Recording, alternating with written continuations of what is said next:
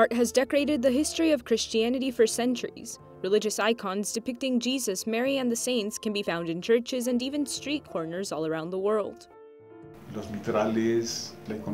Iconography was originally intended for illiterate people who didn't know how to read or write. Icons helped them grow in the faith, and that's still the goal of iconography today. But Jorge Alberto Puentes wasn't always interested in icons or religious art in general. The artist from Bogota, Colombia says it was his mother's support for his artistic career and her faith that ultimately led him to specialize in this form of religious art. I try to pray while I paint, to pray and meditate on what it is that I'm painting. Before my art can help other people, it helps me. It helps me grow closer to God's presence, and then it can help people who see my work.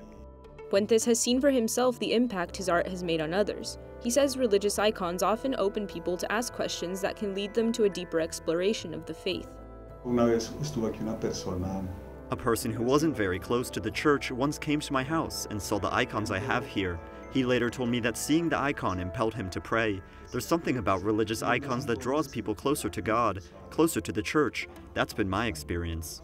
An artistic career that started out with a block of paper and a pencil that his mother gave him in elementary school grew into a creative form of evangelization that continues to draw people to the faith.